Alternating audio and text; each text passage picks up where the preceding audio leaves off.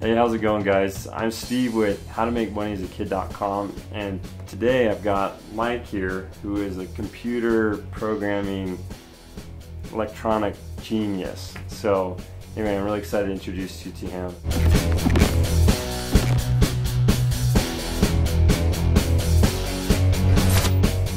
So, Mike, let us uh, let us know a little bit about you. Like, what? How old are you? Um, what are some of your hobbies? Like, tell us a little background about yourself. All right. So my name is Mike Abbott. I'm 15. I like to program computers. I like to fix computers. Anything with computers, really. I just enjoy it. I do all kinds of crazy. I make little gadgets that do everything from being a TV remote to making a radio station if I want to. How did you get started? Like, what was the first way you started making money? Well, originally, well, the first job I had that was a regular job where I had it every week was mowing my grandpa's lawn. And every week I would, after school, go over to his house and I would mow his lawn for $5. Nice. And then that was two or three summers ago. Um, the next summer, I worked at a Cub Scout day camp. And, you know, if you like to work with kids, it was a great job. But for me, it just wasn't really my thing. And I worked there all summer. You know, I made a pretty good amount of money, but again, it just wasn't really my thing. So I didn't do that this last summer. And instead, I worked on computers. Cool. So tell us so tell us a little more about that. Like you use your computer skills to fix computers and make money. So tell us a little bit about that, how you did that. Okay. So I what I would do is I would find out if somebody needed their computer fixed. For example, my teacher had her laptop and it was broken. It wouldn't work and as to put it in her words, it was a really expensive paperweight. So I took it home she brought it to school for me to take home, and I booted it up, and I figured out what was wrong with it. It turns out she had been hit really hard with a virus. And so we got the virus off, I cleaned the hard drive, I got it running fast again, and then I brought it back to her, and she paid me for it. How much did you pay her? Um, I charge $20 for every computer I fix. Just $20? Yes. Or is it $20 an hour? I charge $20 because most of my problems, most computer problems, if you know what you're doing, can be fixed in about an hour.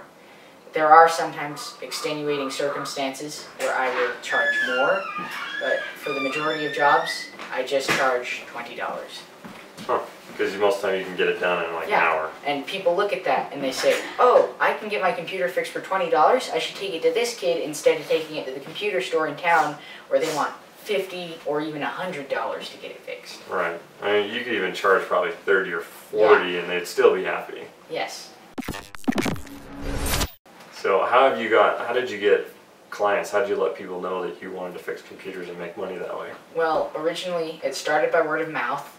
Um, I just, for example, that teacher, she had just heard that I was really good with computers from her daughter, who we were kind of friends, and so her daughter told my teacher about it, and my teacher was like, oh, can you fix my computer? And then after that, other people heard how I had fixed my teacher's computer, and everybody thought it was so cool. And I had kids at school, can you fix my hard drive? So I had a kid bring me like their hard drive. They, a few months before, it had quit working completely. And so their dad had thrown the computer in the garbage, but they fished out the hard drive, and they brought it to me, and again, you know, in about an hour, I had it working again. And then I brought it back to school and made $20. Yeah, wow. That sure beats, uh, what, minimum wage, 750 or whatever? Yeah. 775, I don't know what it's. And of course, it's not a steady job. You have to go out and you have to find people who want their computer fixed. But the flip side to that is that if you don't necessarily want to work as hard one month, you don't have to go out and fix all these computers. It's optional how much work you do, especially where I am, where I manage all of the jobs I do. Yeah, that's awesome. And how did you learn about, how did you first learn how to fix computers? I mean, what did you do to do, learn how to do that?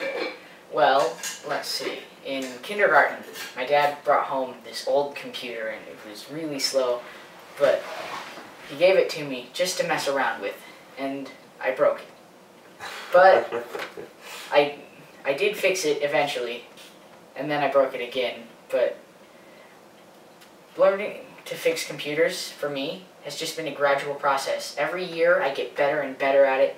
I start to know tricks that I didn't know.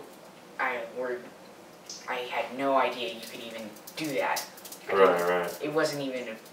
I couldn't even imagine that you would do that, and um, you learn all these little tricks and tips and even just googling stuff. Mm. I've learned so much from the internet, and it really is a great learning resource. If you want to learn a new skill, the internet is great. Yeah. But yeah, there's already like tons of stuff out there, so you can Yeah. kind of teach yourself And if you come across a problem that you've never heard of before, just Google it, and somebody else will probably have the same problem. Yeah, that's so cool. It makes it so easy. It's like you don't have to be. I mean, genius. You just started breaking computers, and then and then you turn They needed then, to be fixed. and then you finally you learn how to fix those things you broke. Yeah, and last year I decided, well, it's a hobby of mine. Why not make some money off of it? Wow, that's Yeah. awesome. I love how you've taken hobbies and everything you love to do and are super passionate about and uh, made money out of it, but also have fun with it. That's so cool. It's gonna. I mean, those are the kind of things that are gonna take you a lot farther if you really enjoy doing it. And you know, that's how he's learned how to do all this stuff. Is he just, you know, he's just taught himself and looked online and you know he figured out how to do it just from, um, just from having little ideas of projects he wants to do and then not letting anything stop him and just figuring out how to make it happen. Anyway, thanks for watching. We'll catch you next time.